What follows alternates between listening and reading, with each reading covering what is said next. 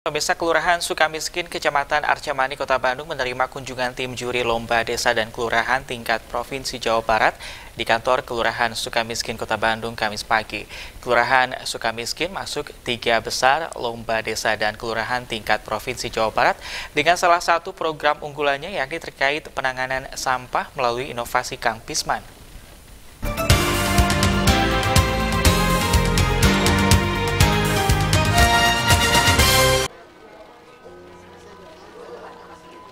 Tim juri penilaian lomba desa dan kelurahan tingkat Provinsi Jawa Barat Kamis pagi mendatangi kantor Kelurahan Sukamiskin di Jalan Pacuan Kuda, Kecamatan Arcamanik, Kota Bandung. Rombongan tim juri yang dipimpin oleh Ibu Lisa Avianti selaku ketua disambut oleh Lurah Sukamiskin Farida Agustini, didampingi Camat Arcamanik, Forkopimcam, anggota DPRD Provinsi Jawa Barat, Siti Muntamah Odet, dan asisten daerah Setda Kota Bandung Asep Cucu Cahyadi. Ketua Tim Juri Lomba Desa dan Kelurahan tingkat Provinsi Jawa Barat, Lisa Avianti menegaskan, timnya hari ini melakukan rechecking untuk Lomba Desa dan Kelurahan tahun 2023. Kelurahan Sukamiskin menjadi salah satu dari tiga besar untuk menentukan siapa yang akan keluar menjadi juara. Jadi kita pagi hari ini mungkin sampai sore kita melakukan rechecking untuk lomba desa dan kelurahan tingkat Provinsi Jawa Barat tahun 2023. Jadi kita akan memilih tiga besar, kita akan pilih juara satu, dua, tiga, dan saya akhir ini terakhir. Pertama kita lakukan di Kota Cimahi, kemarin di Kota Bekasi, sekarang terakhir di Kota Bandung.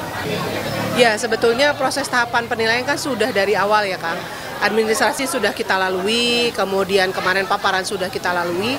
Sebetulnya pada hari ini itu kita tinggal mengecek sebetulnya inovasi-inovasi yang sudah dilakukan oleh uh, Kelurahan Sukamiskin.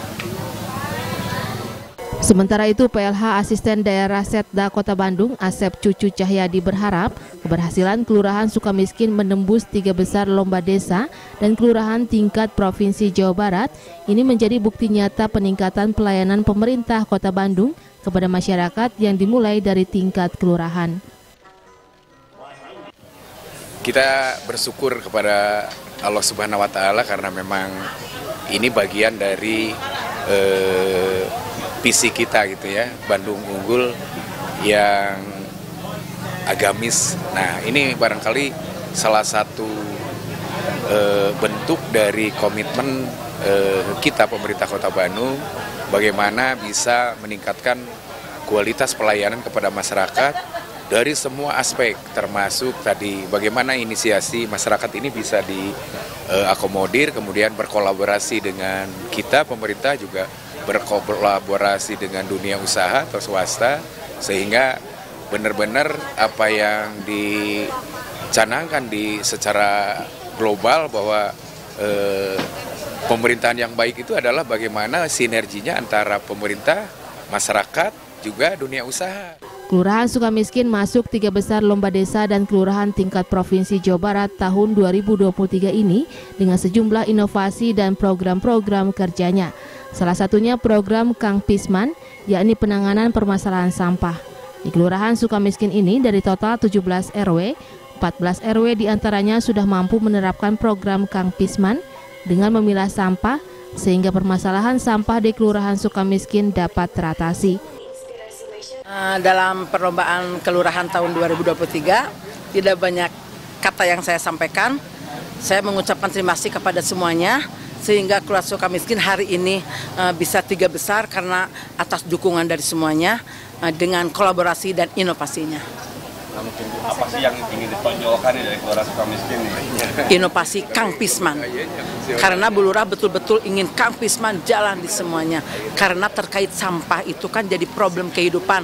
Saya ingin memulai dari warga Kelurahan Sukamiskin dengan inovasinya Kang Pisman. Mudah-mudahan uh, masalah sampah di Kota Bandung uh, bisa tertangani.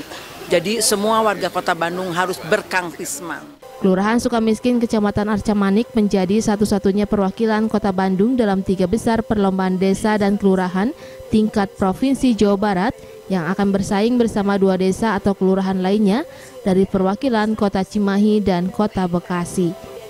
Yuwana Kurniawan, Bandung TV